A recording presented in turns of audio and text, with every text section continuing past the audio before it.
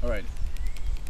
In my hand here is a right hand recurve 22 pound bow. All right. This bow is made up of three major parts. Actually, mainly four. We don't call it as a part, but it's four. This here is called the base section.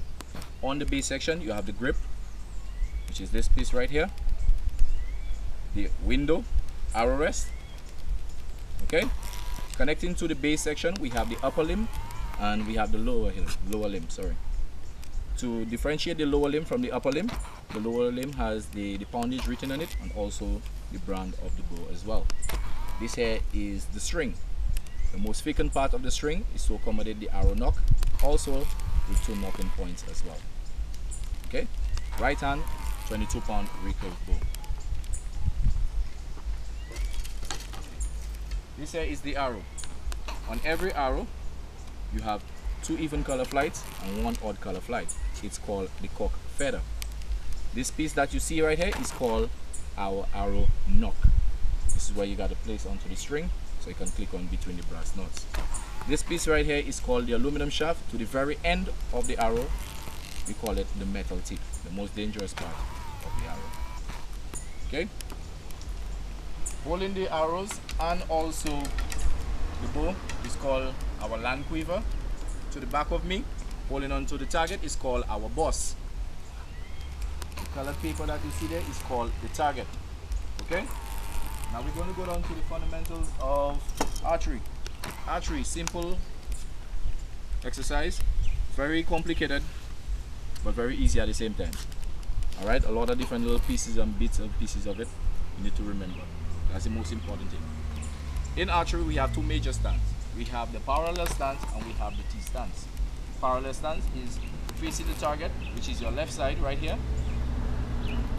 This is your target so your body got to be facing to the right if you're right-hander. If you're left-hander, your right hand got to be facing the target and your body got to be facing to the left. Okay? Your feet got to be facing to the right for right-handers, shoulder width apart. So you give that space between your feet right there. Okay? Now, this here is aiming position with your right, your left hand extending out to the target. Okay? Now you simply pick up your bow from the land quiver, placing your, your hand onto the arrow, the um, grip as well. This here is aiming position. When ready to load your arrow onto your bow, simply place your bow sideways, facing to the ground at all times. Okay? So this here is your stance. For beginners archery, you only use the parallel stance. With the intermediate, you use the T stance or the parallel stance, whatever which one that's comfortable for you. But you're going to be taught the T stance in intermediate session. Okay? When ready to load your bow, you place your bow sideways facing down to the ground, picking up your arrow from the shaft, making sure that your thumb places the odd color, which is the cock feather, and the index finger and middle finger onto the even color flights. You then place it over the bow onto the rest between the brass nuts, making sure that your, your cock feather faces to the sky at all times. Upwards. Okay? You then set yourself up in aiming position. Come this way, Jennifer. Right? Then set yourself up in aiming position. Use three fingers. The three fingers are marked out for you in your gloves. Index to the top.